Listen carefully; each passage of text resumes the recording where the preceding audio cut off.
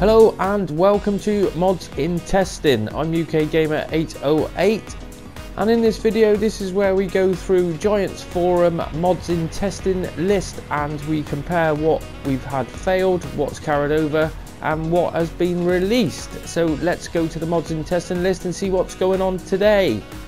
Now going back to yesterday's failures for PC are the Frandent SP50 Garage with Workshop Trigger, the Gents HE561, the Mercedes-Benz Trac 800 and 900, Potato Heap, Silos Bin, Sugar Beet Heap, Swimming Pool and the T-Rex Shuttle. And then console fails, we have the Alsozeg Agrifarm, Grain Auger, Kuhn FC313F and the FC883, Lely P300 Silage Harvester, the Massey Ferguson 8700S and Osina.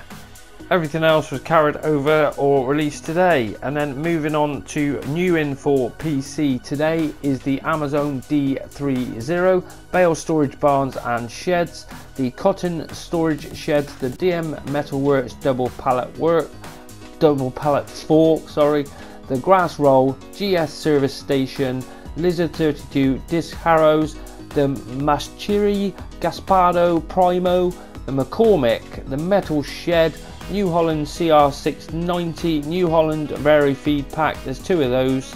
Palworm 2K19, Pigsty, Seasons Geo, Italy Rice, Lapland and South Poland. And then we have the U238, well I don't know what the hell that is.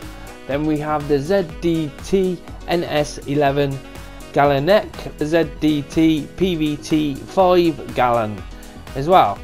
And that is your lot. Well actually the three point tank water milks there so that must be an update for that. But that's your lot for PC so what about console? We have the three point water milk Barbarosti Fiat 80 series the FS19 HW80 trailer pack garage with workshop trigger grains RS sell point.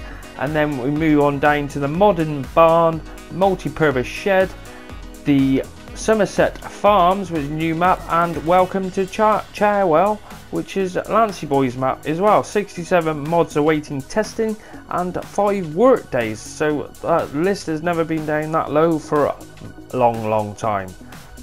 And today's mod hub update is we have the NMC center mount LT46 the Lizard D4647 pack the Cultivator 2M the Vaderstad Carrier pack, the Hay Shed Grain Silo extension, and then flags. Now those are all for all platforms, and then the Agromet Unio Atlas is PC only, the same as the Metal-Fach U034 pack, and the Donde 800 series is console as well.